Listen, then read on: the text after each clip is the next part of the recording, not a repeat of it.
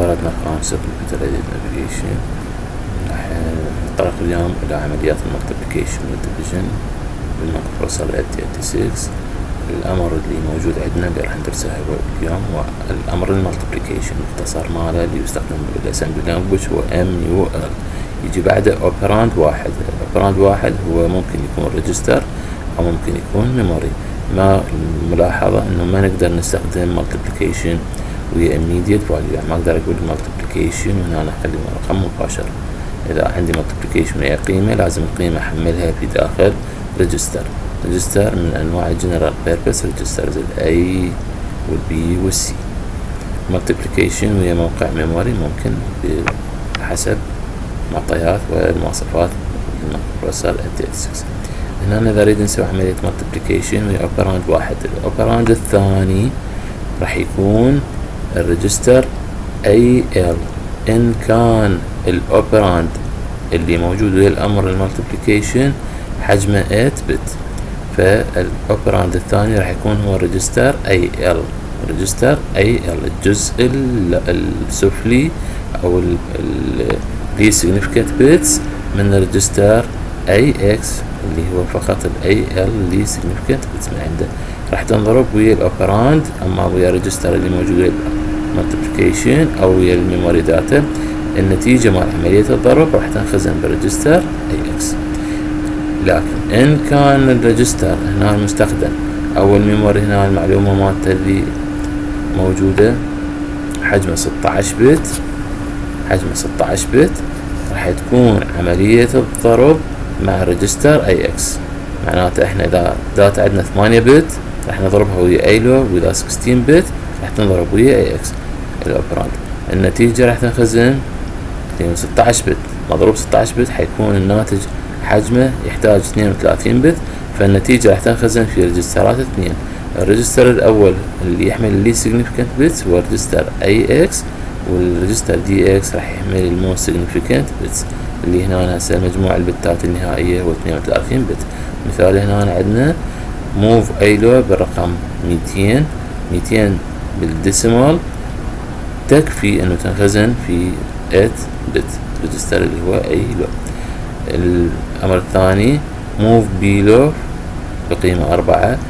ملتبلاي بيلو مع منو؟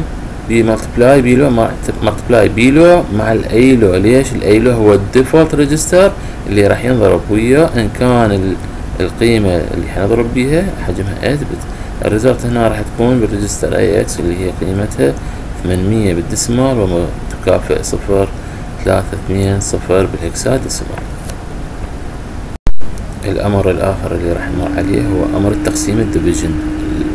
الصيغة مالته اللي تستخدم بال assembly language هو DIV فراغ ويجي operand واحد. ال operand هو أما register أو memory ال operand ال register أو ال memory. إن كان حجمه ثمانية bit فمعناته القيمة اللي راح تنقسم على هاي الثمانية bit تكون موجودة بال register AX ناتج القسمة لل register AX اللي هو في كل الأحوال ويا لما نسوي عملية القسمة ال register AX لازم يحمل, يحمل القيمة اللي راح نقسمها على ال operand اللي موجود ويا الأمر.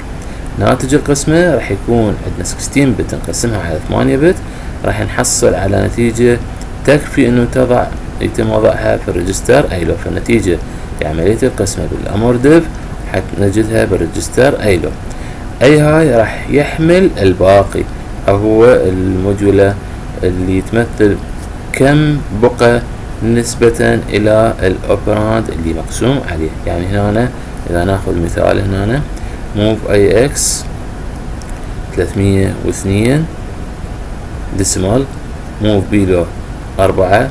هنا إذا راح نسوي عملية قسمة راح يقسم محتويات ال AX على ال B low اللي هو هنا راح يستخدم ك operand على أربعة. النتيجة هنا إيش راح يكون ال result راح تكون خمسين باقي عندنا ثلاثة ينخزن بال register A high عندنا multiplication في حالة إن ال data عندنا signed ما نقدر نستخدم الأمر المر ال MUL اللي مرينا عليه سابقا. نحتاج نستخدم نحتاج نستخدم أمر جديد اللي هو ال I MUL I MUL يجي أيضا ويا نفس الصيغة اللي مريت علينا سابقا اللي هو operand واحد أما register أما memory العملية اللي حتتم بال I MUL بالضبط مثل ال multiplication لكن الأمر ال I MUL له قدرة إنه يتعامل ويفهم ال negative numbers يعني مثلا هنا لما نريد نضرب minus 2 ب minus 4 العملية اللي حنسويها لازم نستخدم الأمر I MUL نجي نحمل المحتويات مالت ال minus 2 إلى واحد من ال registerات أو هو لازم يكون إجبارا ال register اللي حيدخل بالعملية هو واحد منهن ال A low. ال register الثاني مخير. أنت حسب المتوفر من ال registerات هنا أنا بالمثال مالتنا مستخدمين إحنا ال register B low حملناه minus 4 عملية ال multiplication إذا ننفذ ال I MUL راح يعطينا result صحيحة minus 2 times minus 4 حيطلع result positive 8 الوحيد الأمر اللي حيقدر يفهم ال negative numbers هو ال I MUL زين شلون ينخزن القيمة ال minus 2 بريجستر ايلو الايلو حتى نخزن بيه الماينس 2 حنجي على القيمة 2 نسوي لها two's complement two's complement نخزن النتيجة مالت ال two's complement للمتغير 2 اللي هو يمثل ال minus 2 حتى نخزن بال register A low فال A low أو ال microprocessor يفهم ال negative numbers على أساس إنه هي two's complement لل positive numbers الاساسية فهنا أنا عندنا لما ال two هي ال two's complement مالتها هو عبارة عن zero FE بال hexa وال negative four ال two's complement إلها هو zero FC بال hexa. نفس الشي عندنا بالنسبة للقسمة signed operation عندنا الأمر ال signed data هو I DIV I DIV ياخذ operand واحد أما register أو memory العملية اللي راح تتم لما ننفذ الأمر I DIV بال microprocessor 86 إنه حياخذ محتويات ال register AX في كل الأحوال في كل الأحوال عملية القسمة AX حتتقسم على ال operand إذا كان ال operand حجمه 8 bit إذا كان ال operand حجمه 8 bit هنا العملية حتكون شنو؟ ال result يعني الناتجة من قسمة ال AX على ال operand اللي هو أما register أما memory حتنخزن بال register A low ال A high راح ياخذ يكون بالباقي زين. ال sign أو العلامة للباقي هي حتكون نفس العلامة أو نفس ال sign اللي كان ماخذها ال register AX شلون هنا؟ مثلا هنا عندنا move AX ثلاثة. move B low اثنين minus minus اثنين. إذا أريد نقسم ثلاثة تقسيم اثنين حيكون نتيجة ناقص واحد وراح يكون عندنا باليد باقي واحد. ليش هنا ال A high ماخذ إشارة positive لأنه ال A high ياخذ إشارة ال AX في العملية اللي تمت بالأمر I DIV زين. إن كان ال operand اللي موجود register أو memory من نوع 16 bit من نوع 16 bit العملية حتكون معناته قسمة متغير حجمه 32 bit على operand حجمه 16 bit المتغير اللي حينقسم في هاي الحالة لازم يكون مخزون بال registerات AX DX فهنا حيكون عندنا 16 ب 16 32 bit حتنقسم على ال operand اللي موجود ويا الامر I DIV إن كان ال operand حجمه 16 bit معناته هنا إن كان عندي مثلا register BX أو CX أو DX وأسوي الأمر. I DIV معناته في كل الأحوال ال register اللي يقسم على ال operand موجودة المعلومات في AX و DX ناتج القسمة حيكون حجمه 16 bit ينخزن بال register AX ال DX راح ياخذ الباقي. من ناتج القسمة الباقي اللي هو ال modulo. ال modulo اللي هي الباقي نسبة إلى إلى ال operand الإشارة أيضا لل DX هي تكون نفسها إشارة ال data الأساسية اللي موجودة بال DX AX أيضا راح نمر على ال logic operations operations بال microprocessor ال 86 عندنا ثلاث عمليات منطقية اللي هي ال AND وال OR وال XOR هاي الأوامر الثلاثة لها الصيغة العامة إن هي تكون في بداية الأمر ال AND أو ال OR أو ال XOR يجي بعدها two operands ال operand الأول ممكن يكون register أو memory ال operand الثاني register أو memory أو data قيمة مباشرة. العملية اللي تتم هي تكون bit by bit operation يعني إذا ال AND فراح تكون ال bit الأول ويا ال bit الأول من ال operand الثاني البت الثاني ويا البت الثاني بالأوبراند السكند أوبراند البت الثالث بالفيرست أوبراند مع البت الثالث بالسكند أوبراند وهكذا. bit مع bit حتى تطلع النتيجة وتنخزن بال first operand النتيجة من عملية ال AND أو ال OR أو ال XOR حتنخزن بال first operand عملية قلنا تتم bit by bit العملية تحتاج إنه ال first operand وال second operand يكونون من متساويين بالأحجام equal sizes ال first operand وال second operand الملاحظة الأخرى إنه ما نقدر نستخدم segment registers أي من السيجمنت ريجسترز الكود سيجمنت الدات سيجمنت الاكسترا سيجمنت الستاك سيجمنت ممكن يدخل في عملية منطقية في logic operations هاي ال operations المنطقية نستخدمها في الأغراض ثلاثة مهمة. اللي هو إذا أريد نسوي testing a bit or مجموعة من ال bits bit or bits نريد نعرف هذين قيمتهن تغيرت إلى واحد أو صارت صفر ال bit واحد أو مجموعة من ال bit ات أو إذا أريد نسوي set أو reset أما نحولها إلى واحد أو نحولها إلى صفر ل bit معين أو مجموعة من ال bit ات داخل معلومة معينة. أو إذا أريد نسوي move لل bits ما بين ما بين ال register ات. إنه واحد من ال bit ات فقط أريد ننقله من مكان إلى مكان فهاي العمليات ال AND وال OR وال XOR نقدر نستعملها. أيضا كل هاي العمليات المنطقية تأثر أو تغير قيمة ال status flags ال status flags تعكس ينعكس الناتج اللي يتولد بعد إنجاز العملية المنطقية ينعكس على ال status flags هنا نمر بشكل سريع على ال AND وال OR وال XOR logic operation مال كل واحدة منهن هنا. ال AND إن كان أي واحد من ال operands قيمته صفر فال result تكون صفر. الا إذا كانت two operands قيمتهن واحد فتكون ال result قيمتها واحد.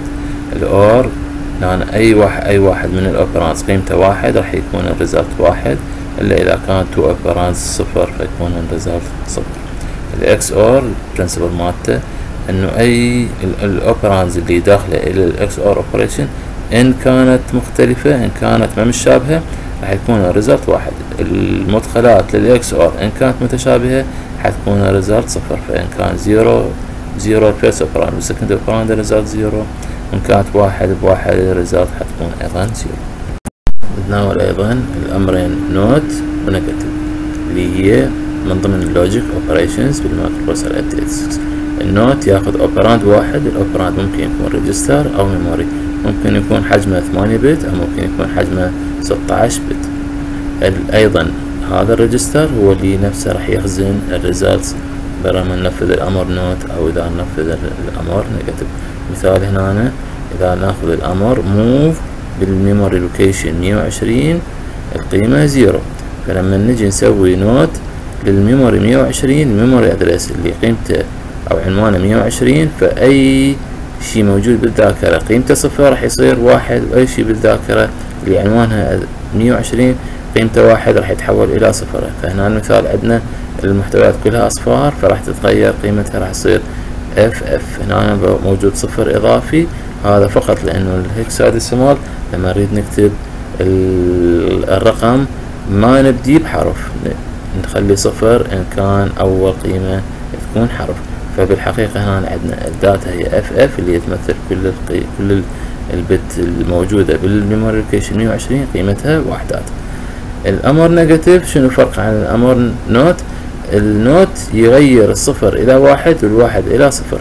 ال negative يسوي two's complement يحسب السالب لل source أو لل ال operand اللي مرتبط ويا الأمر negative. يحسب لنا ال negative ماله يعني كانه ما أخذ ال data اللي معرفة بال first operand بال operand اللي مرتبط ويا الامر negative يضربها في ناقص واحد ويرجع يخزنها في نفس الموقع اللي موجود بالأمر negative مثال ناخذ هنا يقول use memory location 120 اللي يحوي ff hex اللي هي قيمتها معناتها negative 1 and the instruction negative.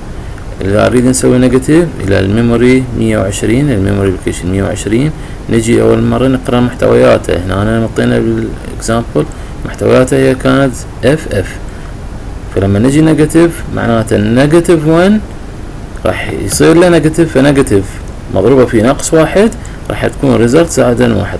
فإذا ورا ما ننفذ الأمر negative ال memory location 120 حيكون المحتويات مالته فقط واحد بينما هي كانت zero ff فمعناته هسه إذا هذا الموقع إذا نريد نسوي له not راح تكون قيمته صفر. إذا نريد نسوي له negative فنجي نحسب ال negative لل data الأساسية اللي موجودة بي. فهو ff معناته ناقص ناقص واحد negative إليه يكون زائد واحد. عندي أيضا الأمر test اللي هو يعتبر من ضمن ال logic operations الأمر test يعمل بالضبط كأنما الأمر and لكن ما يخزن نتيجة ما يخزن نتيجة في أي مكان. فقط نتيجة العملية اللي ينفذها اللي هي ال and تنعكس وتأثر على ال status flags بال flag register على ال flag الرئيسية اللي هي ال zero flag وال sign flag وال parity flag هذا الأمر test يستخدم حتى نقدر نسوي أو ناخذ على أساس النتيجة قرار بدون ما نغير قيمة ال data اللي إحنا محصلين عليها. نقدر نقرر لأنه راح يتغير قيمة ال zero flag أو ال sign flag أو ال parity flag وأكو أوامر تقدر تتحسس قيمة ال zero وتسوي فد أكشن حسب قيمتها. فال test الأمر مصمم حتى ناخذ قرار بعده. عندنا أيضا الأمر compare. Compare من ضمن ال logic operations الأمر compare يحتاج two operands ممكن تكون register ب memory أو memory ب register أو register ب register أو memory وي immediate value أو register وي immediate value أي وحدة من هالتشكيلات ممكن تستخدم ويا الأمر compare. معناته ال compare يحتاج two operands الامر compare ينفذ عملية subtraction subtraction. اللي يسويه يطرح ال operand الثاني مثلا هنا ال memory من ال first operand لكن النتيجة ما يخزنها في أي مكان. أيضا مثل الأمر test فقط يعكس ال result على ال status registers ال result ما تنخزن بأي مكان لكن ال flags وال status flags راح تتأثر تبعا للأمر compare اللي هو ينفذ عملية subtraction